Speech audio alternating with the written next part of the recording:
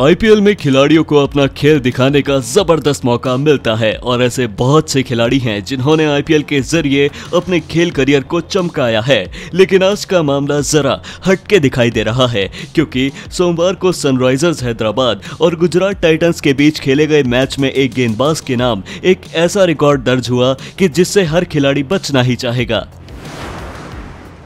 तो चलिए, बताते हैं आपको उस खिलाड़ी के बारे में, लेकिन उससे पहले आईपीएल के हर लेटेस्ट अपडेट पर अपनी पैनी नज़र बनाए रखने के लिए हमारे चैनल को सब्सक्राइब करें।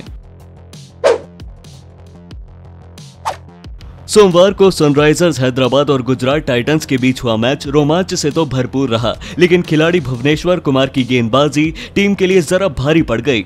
दरअसल, कल के मैच में पहले ही ओवर में टीम के तेज गेंदबाज भुवनेश्वर कुमार ने 11 रन वाइट के तौर पर सामने वाली टीम के नाम कर दिए। टीम के लिए ऐसा शुरुआती ओवर किसी खतरे की घंटी से कम नहीं था, लेकिन फिर भी सनराइजर्स हैदराबाद ने मैच में जीत हासिल कर ली।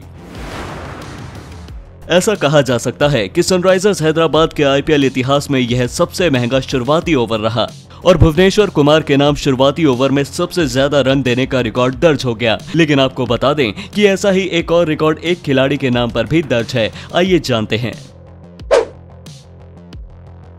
बात करेंगे साल 2015 की, जब साउथ अफ्रीका के खिलाड़ी डेलस्टेन ने आरसीबी के खिलाफ अपने पहले ओवर में 17 रन गंवाए थे। इसलिए उनके नाम यह रिकॉर्ड पहले से ही दर्ज है। इस खिलाड़ी के बाद इस रिकॉर्ड में भुवनेश्वर कुमार का नाम लिया जाता है, क्योंकि इससे पहले भी खिलाड़ी ने साल 2017 के आईपीएल में केकेआर के खिलाफ अपने पहले ओवर में तेरह रन गंवा दिए थे।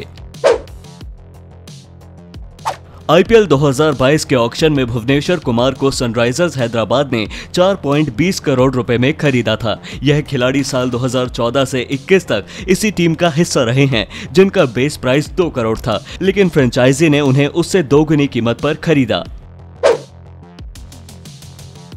कल के मैच में केन विलियमसन ने अर्धशतकीय पारी खेली। वहीं दूसरी ओर, निकोलसन पूरन की बल्लेबाजी ने भी टीम की जीत को पक्का कर दिया। आपको बता दें कि विलियमसन ने अपनी कल की पारी में दो चौके और चार छक्के लगाए, इसलिए कल दर्शकों की नज़र खास तौर से केन विलियमसन पर ही टिकी रही। भुवनेश्वर कुमार की गेंदबाजी यूँ तो अक्सर खिलाड़ियों पर भारी पड़ती है, लेकिन उनके नाम यह रिकॉर्ड आ जाने से उनके खेल पर क्या असर देखने को मिलेगा, यह तो आने वाले मैचेस में ही पता चल पाएगा।